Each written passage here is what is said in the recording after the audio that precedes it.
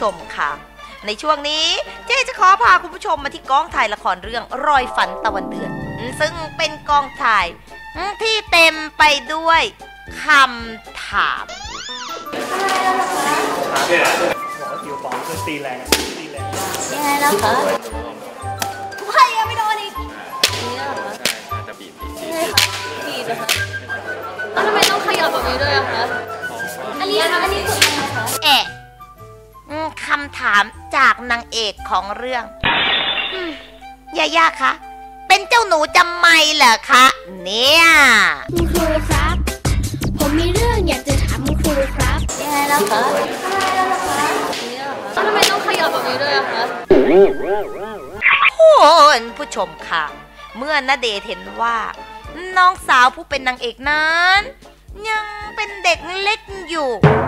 ณเดชน์ จึงต้องพยายามทำตัวเป็นผู้ใหญ่เพื่อเป็นตัวอย่างแก่น้องสาว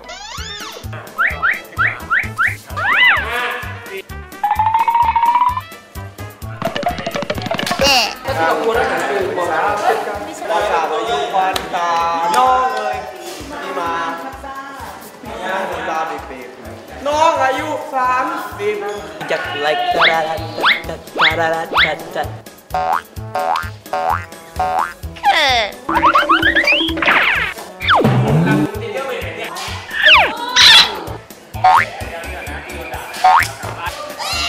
เอ๊ะเอ๊ะไม่ได้ดีกว่าน้องเลยค่ะ นะเด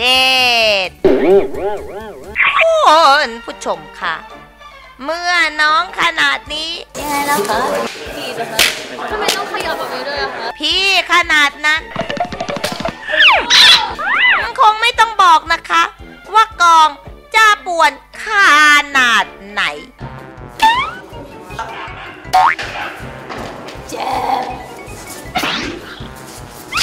คือค้างคือค้างโอ้โห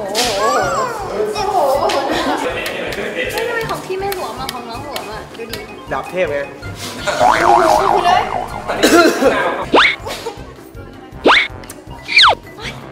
เฮ้ยฉีดให้พี่ฉีดให้จริงโอ้ไม่ต้องเรื่องแบบนี้แล้วเร็วเขาเสียเวลาเรายากเร็วไหมทำไมทำเอาตีข้างหนึ่งหายเลยตีข้างหนึ่ง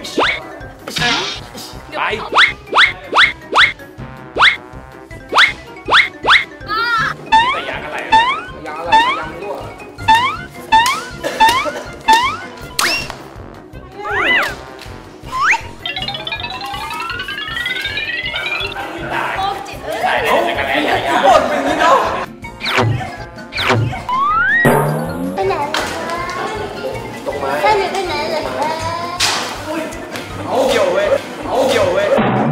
ตีอย่าตีอย่าตีอย่าตีอย่าตีอย่าตีกันนะอย่าตีอย่าตีอย่าตีอย่าตีอย่าตีตีกันนะ